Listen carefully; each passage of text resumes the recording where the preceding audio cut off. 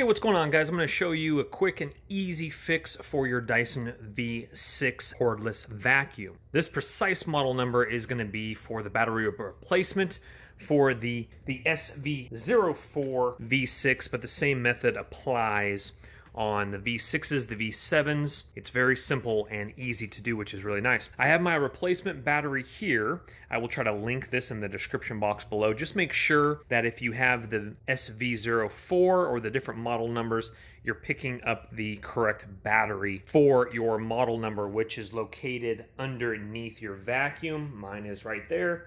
Yours might say DC54 or something like that just make sure you're getting the correct battery. Now, one of the reasons why you probably want to do this fix is it's not performing as it was. It might be performing 50%, 60, 70% of what it used to. It just doesn't last as long. What's happening is there's probably one cell in this battery pack right here that is going bad, maybe two cells, and it's just not getting enough juice, enough power in there. Now, if you're really handy DIY, you can take apart the battery pack, re-spot weld in a new 18650 cell. These are the same cells as in a Tesla car battery pack, but the easiest thing to do is just purchase a battery. This is actually a third-party one. This is not even a Dyson Genuine, but these are the model numbers that it's for right here. And you take off that pack right there, and it's not 100% matching. Uh, you do have these little kind of uh, little frivets here, and this one doesn't, but you do have an LED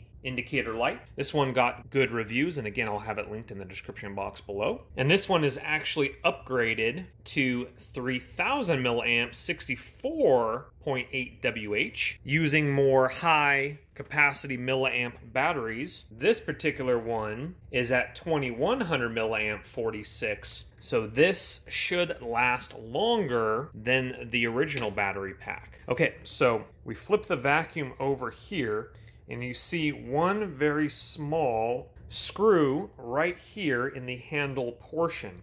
Again, right above the charging port here. Go ahead and put a small screwdriver in there, unscrew that. Now with that first screw out, now what we're gonna have to do is we're gonna have to release the red button here for the tank. It's gonna drop the lid, so make sure you're over a trash can if you have stuff in there. And then we're gonna hit it one more time to release the whole entire cartridge. So here we go, we hit it once, we release the cartridge. Now we hit it one more time. Might have to do it with two hands there. You're gonna push that down, and we just saw it move there. And so we're gonna have to use two hands and remove that from the lid there. Like that there, and this is a great time to sanitize and clean your Dyson. Now, the second screw to release the battery is gonna be right where my thumb is, right there. Now make sure you keep these screws because my replacement battery did not come with extra screws. So we're gonna go ahead and remove that screw now, and then your battery pack will slip right out. Pull straight down and it comes right out. And if you do wanna recoup some cost on the battery, you can actually sell these pre-owned on eBay, just state in your auction listing that it's for parts only, that the battery pack is not as efficient as it once was. And what people do is they purchase these packs to recycle the 18650 cells for e-bike batteries, etc. That's only if you want to recoup some of your costs for the new battery or place them out on your curb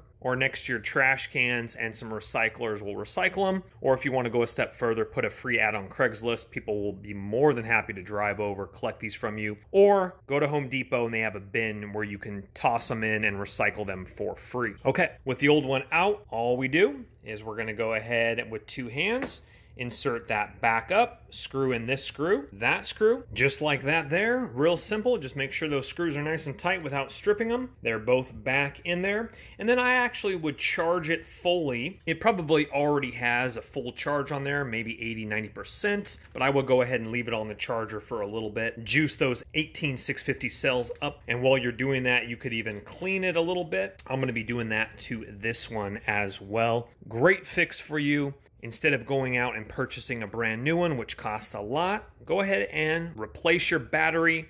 Don't fix what is not broken or fix what is broken.